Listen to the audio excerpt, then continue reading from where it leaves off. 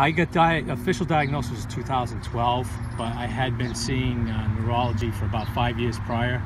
I used to have tremors in my legs at night that would wake up my wife, and she was the one that noticed the um, the tremors. I never even knew they were there. 2012, I was having a very difficult time. I own my own construction business, moving my right side.